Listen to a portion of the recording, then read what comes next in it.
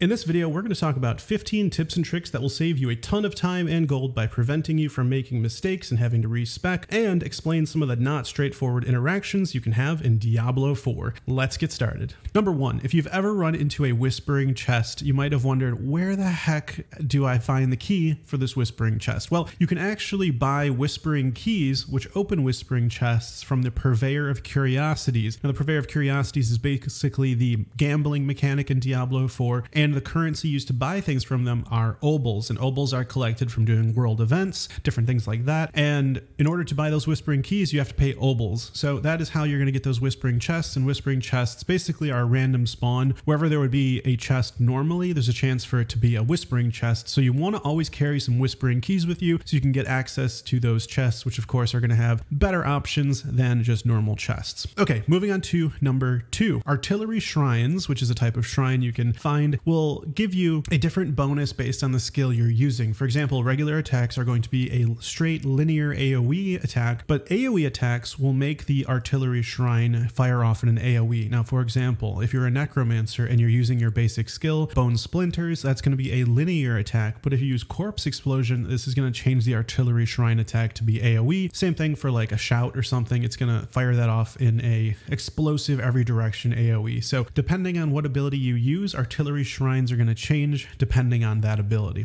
All right, let's move on to number three. Let's talk about elixirs. Now, elixirs are really, really strong in Diablo 4. For example, Elixir of Demon Slaying increases your damage by 20% against goatmen, fallen, and flies, in addition to the 5% XP boost. Now, other elixirs like Elixir of Cold Resist can also be very helpful against certain bosses or dungeons. There are so many different elixirs that are available in Diablo 4, and you always want to have an elixir on because of that 5% XP boost, but also because they have such powerful bonuses. So make sure go craft them. They're not that hard. Check out the reagents you need when you go to the alchemist. Always be using an elixir on your character. All right, moving on to number four, damage over time effects cannot critically strike. This is very important because some players are thinking, you know, oh, let's go this poison build or like this decay build, you know, where it does damage over time. Well, it's important to understand that if you do go that build, and I'm not saying that they're, you know, terrible builds or anything, just know that you you don't want to get critical strike because damage over time effects cannot critically strike in Diablo 4. And so keeping that in mind as you build your character a certain way, that if you are doing damage over time and that is a big focus of your character, do not also get critical strike chance or bonus critical strike damage because it will be completely useless. Okay, moving on to number five. Legendary affixes from weapons you aren't using currently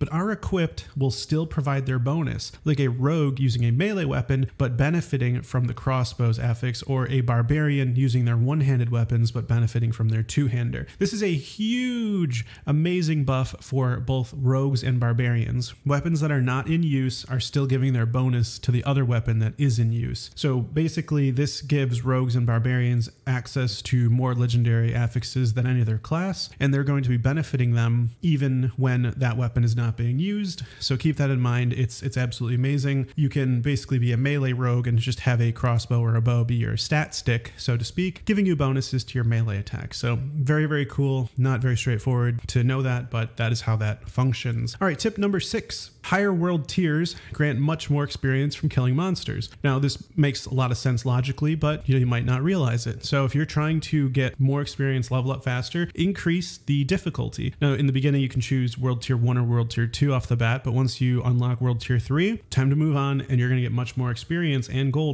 by killing these more difficult monsters. All right, tip number seven, close enemies are those who are in melee range, distant enemies are outside of melee range. The tooltips don't say this, but there are a lot of different skills that actually will give you bonuses depending on the range. So in also item affixes. So for example, there'll be a skill that says your critical strike chance is increased by 9% against close enemies. So that is perfect for a melee build. But if you're playing ranged, then obviously you don't want that skill and vice versa. You know, like if there's something that gives you defense when taking damage in close range, then that means, you know, once again, you're building a melee build. So keep that in mind. That is what close and distant mean in Diablo 4. All right, tip number eight blood marked players are considered elites. Now, blood marked players are the players in PvP that are basically dominating. They're getting uh, basically alerted that they're a high priority target. They get rewarded if they can stay blood marked for a certain amount of time. And for the purposes of their monster type, they're considered elites. There are spirit boons that give you 10% reduced damage when getting hit by an elite monster. So a Bloodmarked player would become an elite and deal 10% less damage to you. There are certain legendary aspects that make it so you do more damage to elites and so on. So keep that in mind in PvP that when there's certain affixes that apply to elites, it's also going to apply to Bloodmarked players. All right, moving on to number nine. Shrines you see around the world with inscriptions will tell you which emote to do in front of it and reward you with a temporary bonus like 10% move speed. Now, it's sort of obvious, but not too clear. Basically, if you see like a purple circle on the ground in a shrine, just walk up to that shrine. It'll say something like, the words on this shrine are barely legible, but it says something like dot, dot, dot, taunt dot dot dot you know?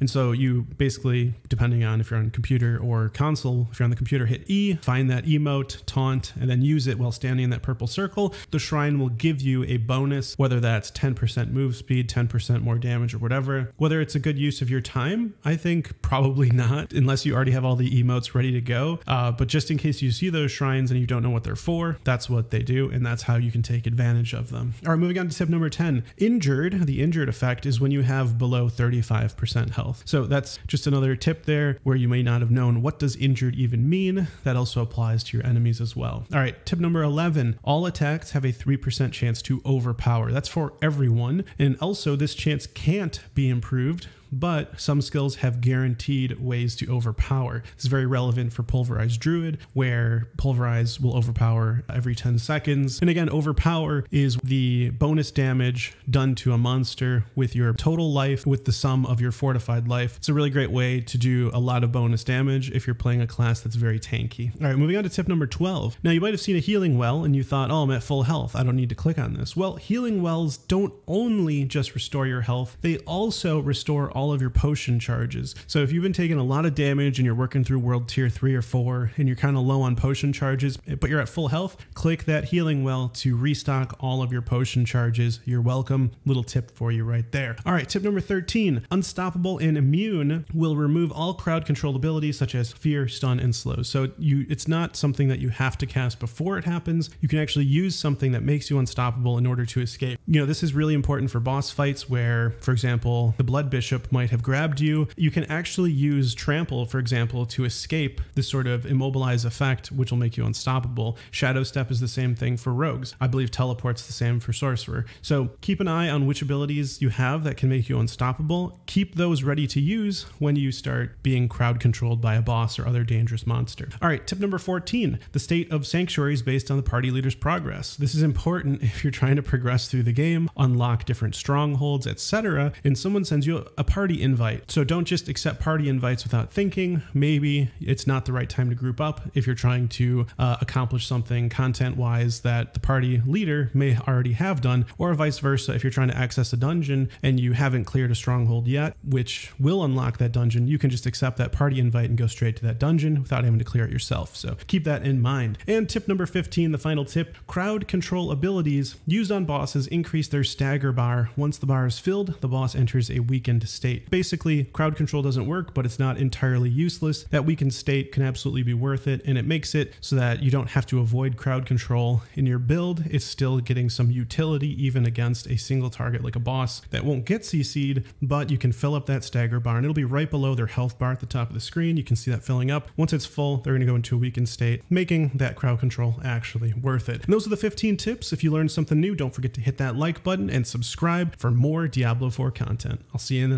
next one. Take care.